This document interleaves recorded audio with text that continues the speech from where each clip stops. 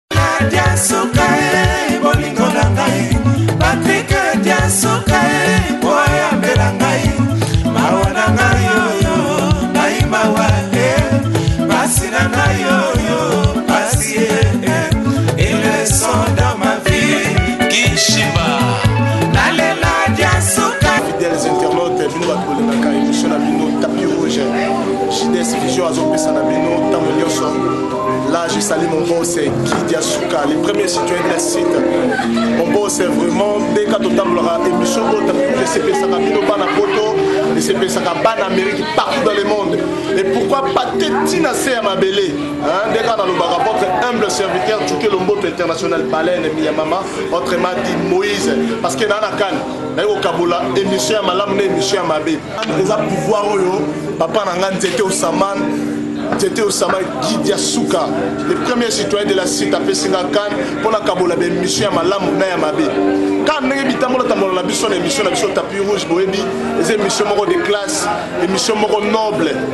naye kosurprendre un artiste musicien en pleine répétition petit rochero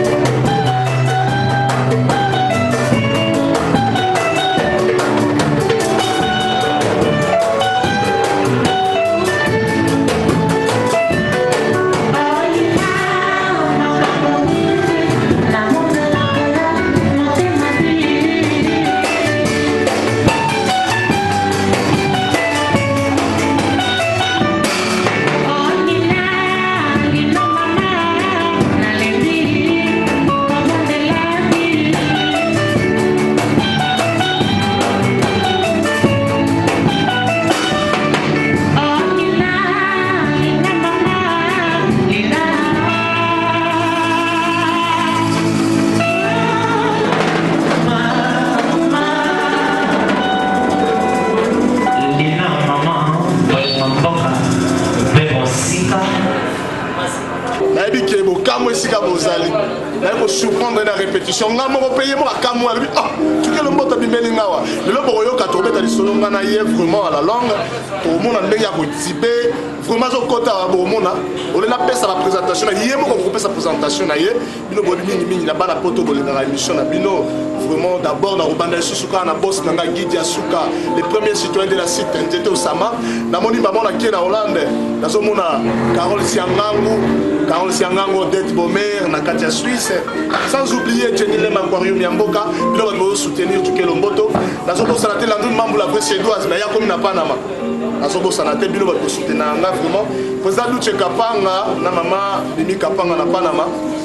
Mon producteur Alpha Bokole, mon ayeyo, dans sala musala oyo bino bolingaka na sala vraiment. Ça plus tarder na zo ya ma président oyo ngana yeko kuta awa. L'artiste oyo ngai lelo la poko lelo tuke lo mboto zo ya mela bino. Président Rochero, petit Rochero. Ah, merci. Yo. Ah, plaisir à trop.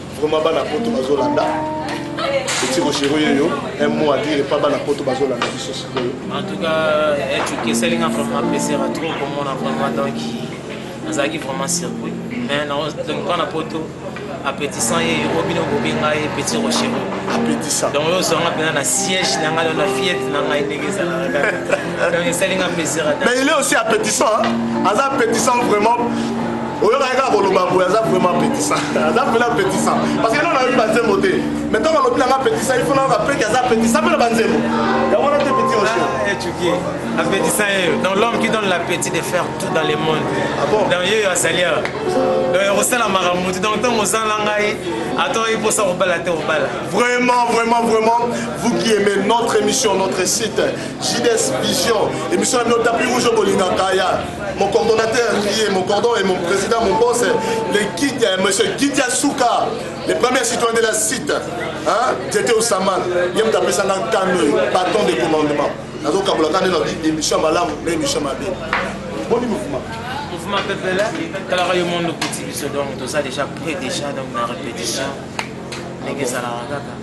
sans plus tarder mais nakolinga avant tosolola tokɔta mpenza na masolo namona ndenge toza kotinda après un moment tokozonga na masolo na biso eza bongo te petit rocher voilà voilà voilà voilà natiki mpo bosentir petit rochero tosentir ye ndenge abetaka na orchestre na ye mobimba après nakozonga nsima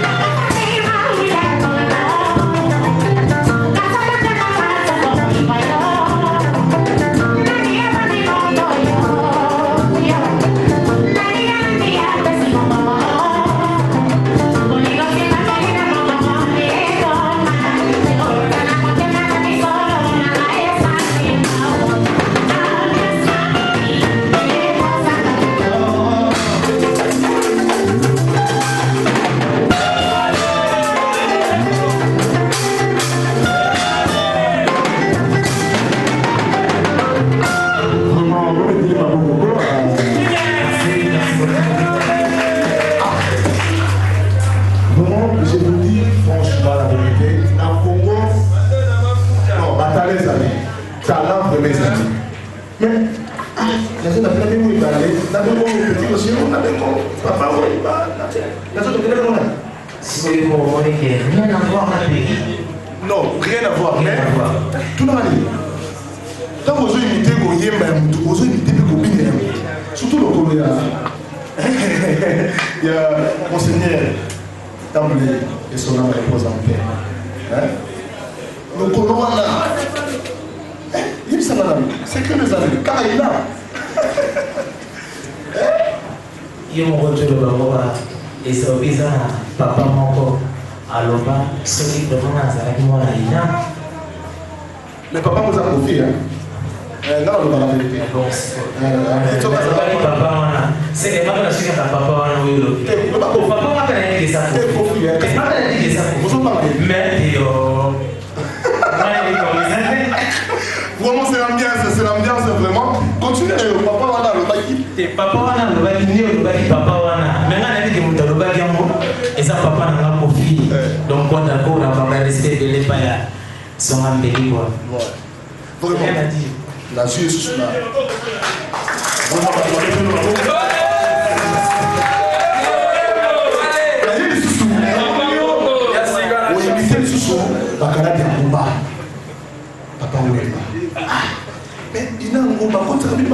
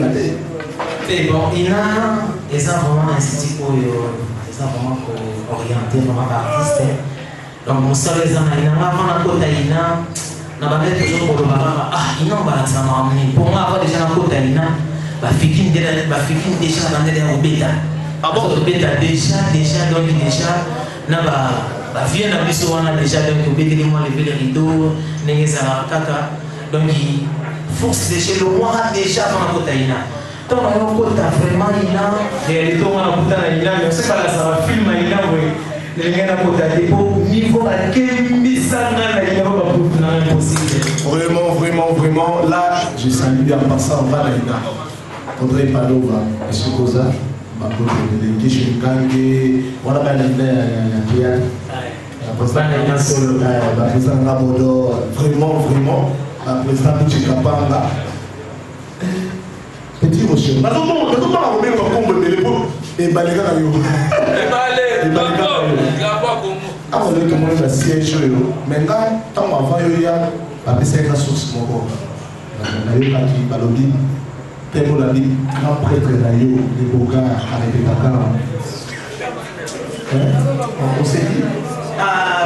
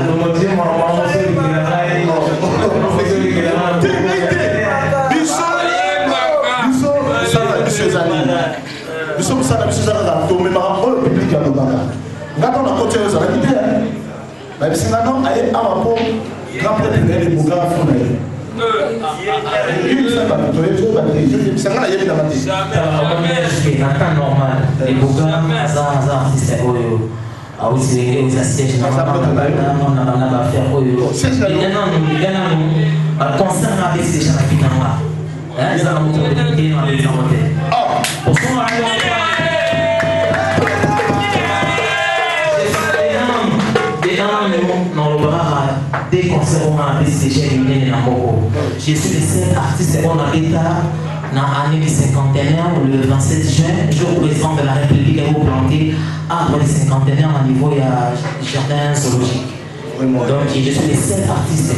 au président à Tango, il a visité le jardin à Souba, tout ça pas Ah bon asenga maloba oyo esengaka oloba mpe président ayebisaki ayembaki tozalaki vraiment na liyo et deuxième concert mort ya kabule donc je fais là vraiment parmi les grands pourtant nayaki na makambo ya kabule babengi nga na niveau ya bandi mpe kokoma na nga nayebi na kota classement moko boye oyo nayebi te